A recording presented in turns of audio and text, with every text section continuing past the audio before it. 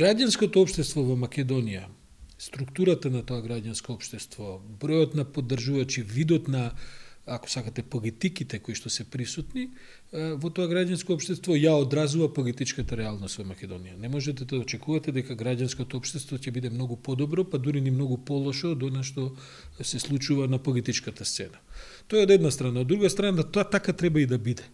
Значи, не гледам зашто граѓанското општество би било 90 настотно демократско, кога нашата држава не е 90 настотно демократски, кога главните политички актери во неа многу голем дел од нив не се демократски расположени.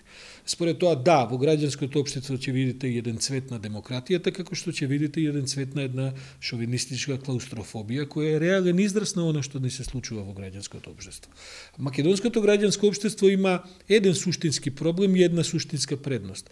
Предноста и квалитетот е во тоа што она располага и тоа се потврди, се виде, со еден експертски, еден, да кажем, зналачки капацитет, кој што во клучни моменти во развојот и решавањето на процес, во процесот на политичка криза, извади еден капацитет кој што понекогаш беше рамен или подобар дури и од политичкиот капацитет и демократскиот капацитет на оние кои што би требало да го имаат во државните институции, во политичките партии, во политичката елита и така натаму. И тоа мислам дека тој капацитет се покаже како многу продуктивен и тој на крајот на криштата овај доби одредена поддршка, дури ја би рекол и поголема, тоа е негативната страна граѓанското општество, кое што во Македонија нема голема конституенца, нема голема база. Значи ние имаме стотици квалитетни луѓе кои што работат во невладнини организации, кои се резултат инаку на една како да кажем на едно корпоративно граѓанско општество кое го бара и Европската унија и модерните начини на кои функционира демократијата, но кои што имаат слаба конституенца, слаба база во населението. Не е тоа само прашање на grassroot, она што се вика нивоа на граѓанските организации, туку е тоа реална една одлепеност од она како размислува една маса од народ, а како размислува едно експертско, зналачко, едно квалификувано граѓанско општество во Македонија. Сепак, изборните резултати покажаа дека граѓанското општество отиду на понапред дури од моите очекувања, морам да ви кажам, и во двете клучни заедници во Македонија, и кај етничките македонци, а би рекол особено кај етничките албанци. Значи, оваа низа од а, луѓе кои што се прошетаа пред камерите, не само во смисла на протести, туку и во смисла на некакви своји анализи по медиумите и така натаму, даде доволно информации и доволно а, квантитет на политички иновативни идеи за голем дел од луѓето, за најголем дел од гласачите во Македонија да се определат за промени. И мислам дека е тоа една, може би не многу голема, но важна политичка победа на граѓанскиот сектор во Македонија, особено кога ќе се види силината на противникот оваа хистерија која што ја произведува постизборно ВМРО ДПМН, меѓу другото и против граѓанскиот сектор, ви, ви говори дека од другата страна имавте вие една власт која што апсолутно не се скусуваше од ништо и не се воздржуваше од ништо за да ги направи сите притисоци врз тој граѓански сектор, за да го укине, да го заплаши, да го турне на страна и на персонално и на организацијско ниво. И затоа мислам дека дотолку повеќе е таа победа важна, бидејќи граѓанскиот сектор покажа една отпорност која е поголема од политичките партии.